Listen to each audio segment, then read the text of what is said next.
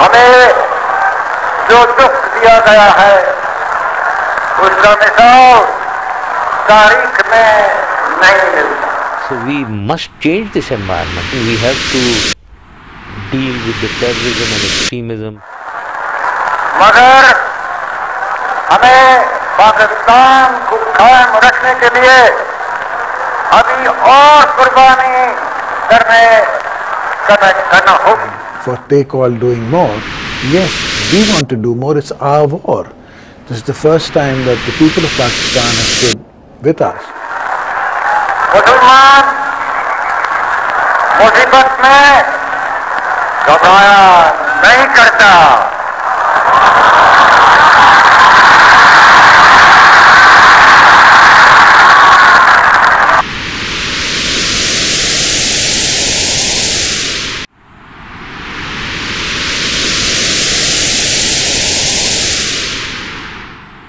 आउज़बिल्लिमिनशैतानरजीम बसमीम ला युकल्लिफ़ुल्लाहु नफ्सन इल्ला वसाहा लहा मा कसबत व अलैहा मक्तसबत सदक़ल्लाहुल-अज़ीम रब्बी इशरह ली सदरी यस्सर ली अमरी वहलुल उक़दत मिन लिसानी यफ़क़हू क़ौली रब्बना तक़ब्बल मिन्ना इन्नका अंतस समीउल अलीम आमीन या रब्बल आलमीन प्रोग्राम तजिए के साथ मैं हूँ आपका मेज़बान समीउल्ला मलिक।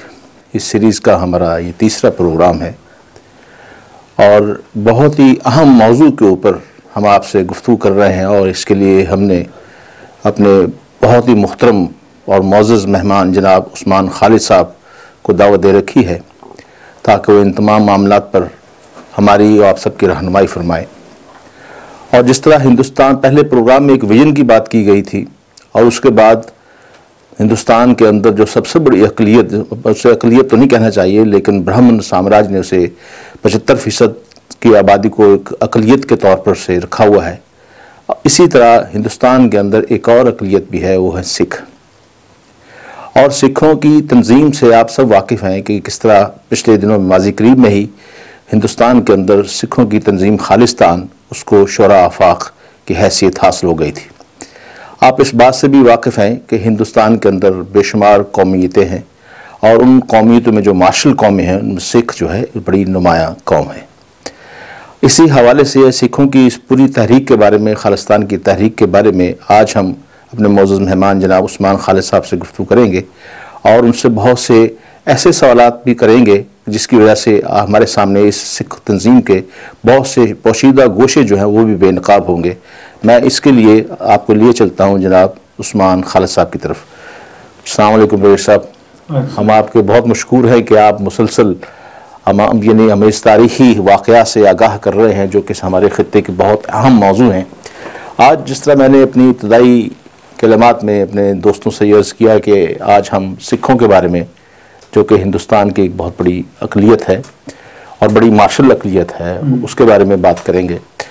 मैं आपसे, मेरा पहला सवाल ये होगा कि जून उन्नीस सौ चौरासी में जब इंडियन आर्मी ने दरबार साहब पर हमला किया, ये बहुत सारी दुनिया में इसका शोरा हो गया था। उस हमले में हिंदुस्तान ने, यानी जिसे ब्राह्मण साम्राज्य भी कह सकते हैं, उन्होंने सिख जर्नैल को इस्तेमाल किया। इसके बाद क्या ये समझा जाए कि सिख जो है, वो इस खालिस्तान तहरीक से बिल्कुल किनारा कश हो गए हैं? क्या ये सच है? ये सोचा जाता है और बहुत सारे सिख रहनुमा जो है ना ये इम्प्रेशन भी देना चाहते हैं कि हम तहरीक से दस्तबरदार हो गए हैं और अभी हमें हिंदुस्तान में ही रहना है। ये डिसीज़न जो है, ये टैक्टिकल है। ये डिसीज़न स्ट्रेटिजिक नहीं है। टैक्टिकल मतलब ये है कि उन्होंने ये समझा है कि इस वक्त बजाय हिंदुस्तान के साथ कन्फ्रंटेशन के, इस वक्त कोऑपरेशन जो है, वो उनके उनके फ़ायदे में है। इसलिए उन्होंने ये स्टांस लिया हुआ है। लेकिन जब आप डायस्पोरा के सिक्कों से बात करें डायस्पोरा के उस यानी जो मुल्क से बाहर रहते हैं तो उनकी राय कम्प्लीटली मुख्तलफ होती है।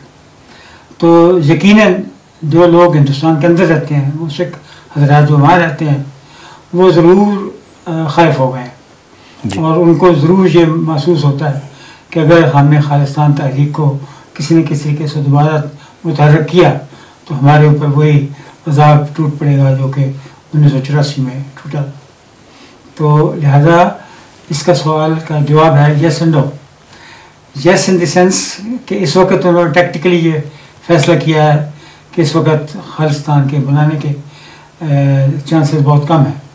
स्ट्रेटिजिकली नो बिकॉज़ स्ट्रेटिजिकली उन्होंने ये फैसला किया है क्योंकि ये एक कौम जो कि एक दफ़ा अपनी पूरी ज़िंदगी में सवरन रह चुकी हो जी। दोबारा ग़ुलाम बनना पसंद नहीं करती। लिहाजा इस कौम में भी अपना ग़ुलाम बनना पसंद नहीं किया। इससे ज़्यादा ज़ाहिर होता है कि जब उन्नीस सौ चौरासी में हमला किया हिंदुस्तान की फ़ौज ने दरबार साहब के ऊपर तो उसके जवाब में इंदिरा गांधी को कत्ल कर दिया गया। जी। मुआवजे ने कत्ल किया। तो उसके बाद जनरल वैद था जो कि उस वक्त चीफ आर्मी स्टाफ था। जी जी। उसको जाके इन्होंने पुणे में मारा। जी जी। लिहाजा उन्होंने अपना एक पॉइंट पॉइंट बता दिया जी। कि don't mess with us ji. अगर हमने इस वक्त ये फैसला किया है कि हम इसी तनख्वाह पर गुजारा करना चाहते हैं जी। तो उसका मतलब ये नहीं है कि हमने शिकस्त मान ली है। ये बात अभी अभी हमें भी समझनी चाहिए और सिखों को तो ज़्यादातर को समझ है।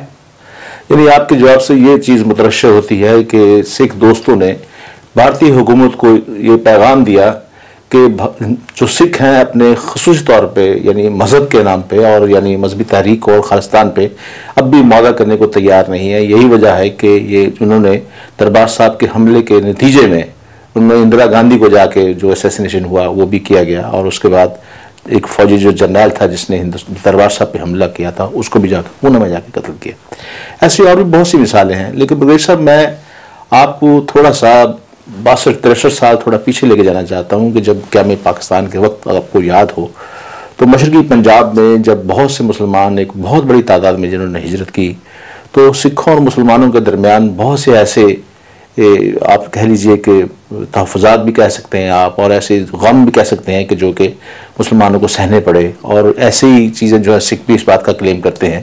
यानी गोया सिखों के हाथ हाथों हमारे जो लुटे पुटे महाजरीन थे उन्होंने बहुत ज़्यादा शदीद नुकसान उन्हें पहुँचा। लेकिन उन्नीस सौ चौरासी की तहरीक के बाद सिखों ने दोबारा मुसलमानों के साथ बेहतरीन ताल्लुकात जो है हमरा ने इस्तवा किए। एक तो सवाल यह है कि उन्होंने ये क्यों चीज़ महसूस की? एक, पहली बात कि सिखों ने दोबारा मुसलमानों की तरफ़ वो क्यों आए? दूसरी बात यह है कि उसके थोड़ी देर के बाद, यानी एक और नए इश्क को शुभात पैदा कर दिए गए, जबकि ये इल्ज़ाम पाकिस्तान की बेनज़ीर भुट्टो पर यह इल्ज़ाम लगाया गया कि उसने अपने वज़ीर दाखिला एतज़ार हसन के हाथों राजीव गांधी को सिखों की वो फहरिस्त पहुंचाई जिसके बाद हिंदुस्तान ने सिखों का बहुत बड़ा एक कत्लेआम किया। ये दोनों सवाल एक दूसरे से लिंक हैं। मैं ये चाहता हूँ कि इसका आप जरा जवाब दीजिए। पहले मैं दूसरे सवाल का जवाब दूँगा कि ये जो फहरिस्त की बात है ये हो सकता सच हो हो सकता ना सच हो लेकिन सियासत में इस चीज़ की अहमियत होती है कि इसको वो क्या समझते हैं। जी। वो इसको सच समझते हैं। लिहाजा ये ज़ाहिर है कि सिखों के और मुसलमानों के दरमियान इस रूमर की वजह से खा ये रूमर खा ये सच है इस रूमर की वजह से एक बद बदअतमादी ज़रूर पैदा हुई। जी। अभी एतमाद की फ़ज़ा पैदा होने की क्या वजह है? उसकी वजह यह है कि हमारी दो तीन चीज़ें उनसे बहुत ज़्यादा मिलती जुलती हैं जो कि आजकल वो रियलाइज़ कर रहे हैं। पहली बात यह है कि जैसे हमारी अलहदा कौमियत की बुनियाद है मुस्लिम नेशन। जी। उनकी अलहदा कौमियत की बुनियाद है सिख सारे नेशन जी। वो कहते हैं हमारे बीच में वो तमाम खूबियाँ और मौजूद हैं जो कि एक नेशन में होनी चाहिए। हमारी अलहदा ज़बान है अलहदा रिलीजन है अलहदा कल्चर है और अलहदा तारीख है और हम कोई भी ऐसा ऐसे तारीख का वाक़ जिसमें कि हिंदू लोग फ़ख्र करते हैं उसमें हम नहीं करते। इन सब चीज़ों पर हिंदुस्तान की तरफ़ से और बनी की तरफ़ से अटैक हुआ। जी। बाकी तो किसी चीज़ पर अटैक नहीं हो सकता था लेकिन तारीख पर उन्होंने ज़रूर अटैक किया। और तारीख में चूँकि बहुत सारे चैप्टर हैं एक चैप्टर वो भी है जिसमें कि सिखों का और मुग़लों का बहुत ज़बरदस्त मुकाबला हुआ। जी। और बहुत सारे लोग अ, उसमें काम आए। यहाँ तक कि गुरु गोविंद सिंह के दो बेटे जो हैं उनके कत्ल का इल्ज़ाम भी दिया जाता है।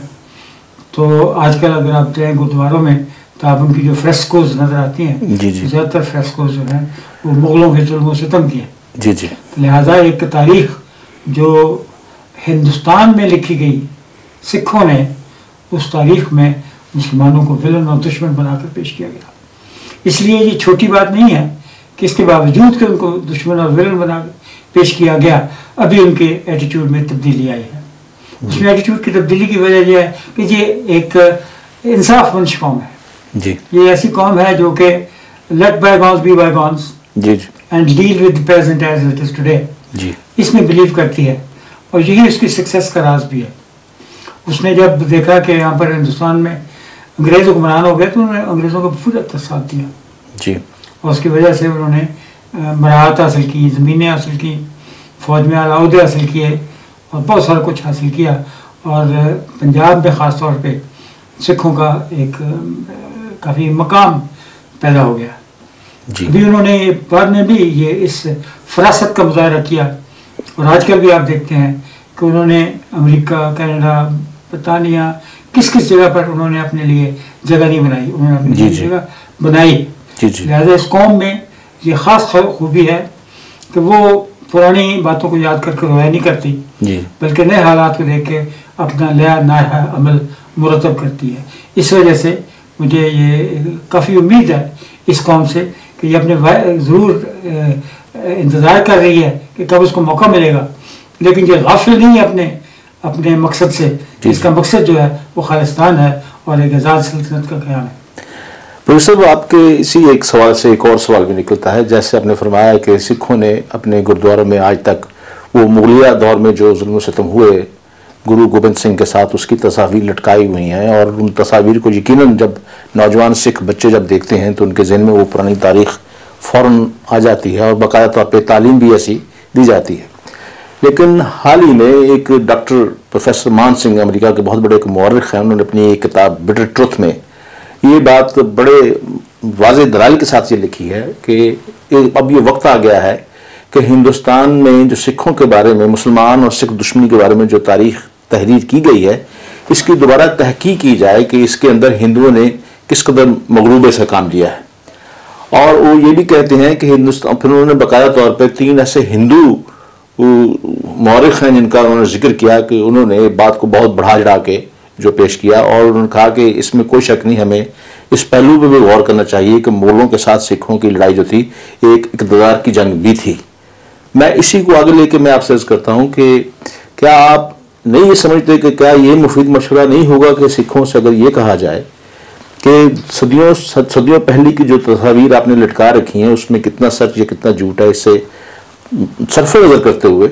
अभी रिसेंटली जो दरबार साहब पर जो हमला हुआ है तो क्या दरबार साहब की तबाही के जो मनाजर हैं, वो गुरुद्वारे में नहीं लटकाने चाहिए ताकि लोगों को उनके आने वाली नस्ल को इस बात का पता चले कि भी हमारे दरबार पे दरबार साहब पे किसने हमला किया? ये तो सबसे बड़ा हमला है। आप क्या समझते हैं?